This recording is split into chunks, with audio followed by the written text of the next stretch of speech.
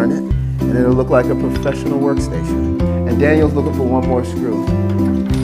Uh, the most important part of this is having a place for the kids to work in the afternoons uh, so they can do their homework. So they're going to actually learn how to build these computers, how to install the software, how to put the operating system on, how to troubleshoot so that they can run this lab. And eventually, people from the community and church members can have a place where they can bring their computers to have them repaired.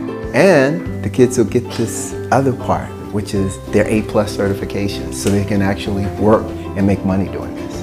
Uh, Shaw Community Ministry is a community-centered after-school program with the mission to enhance the lives and expand the opportunities of youth, adults, and seniors throughout the Shaw neighborhood primarily, spanning arts, music, character development, and most recently, technology education.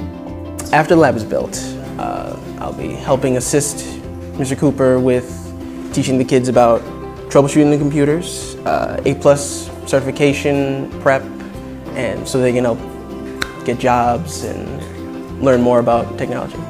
So I was wanting to get into the IT field, and I always like like taking stuff apart, and I started soldering a little bit, and it just really went from there because he saw I like computers and he kind of took me in and let me do stuff with him.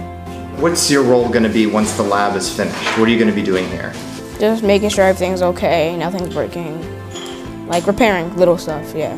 Oh, there you go. Okay, perfect. It's going to be a pretty cool lab. I'm really excited about this. Finally coming together. We're looking for IT professionals, people who've got their A plus certifications, their CNE, who had someone help them, and that's how they got into IT. Now this is your chance to give back. Help us get this lab together and get everything set up.